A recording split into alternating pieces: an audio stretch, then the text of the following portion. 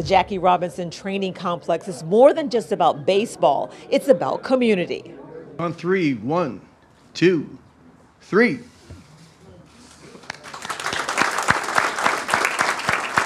This just seems so right. You know, Major League Baseball needs to be here at Dodgertown, and Dodgertown needs to be a part of Major League Baseball. So this is really coming together.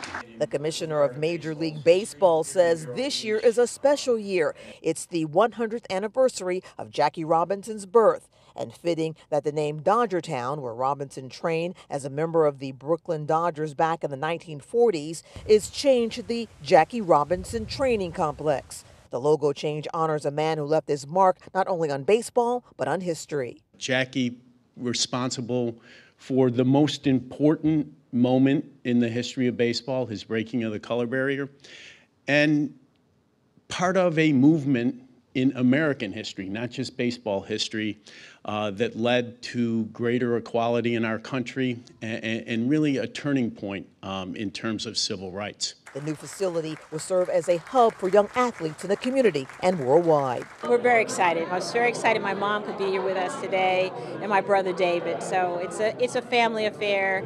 We feel committed to the um, the new facility. We were committed to the you know our history here um, in Vero. So now just to expand it and make it even stronger, it's very exciting for us. It means a lot. I mean, I can potentially follow his footsteps. I go out and I try to find all the, the kids that just want to be have the opportunity to play this great game and give them an opportunity that Jackie Robinson gave us. Just being here and, and, and, and around this legacy of Dodgerstown, and now the name has changed to Jackie, Jackie Robinson Training Complex it's going to do such a, a great thing uh, for this community and Major League Baseball taking it over, so you know they're going to do a great job here. In Vero Beach, Angela Rozier, WPBF 25 News.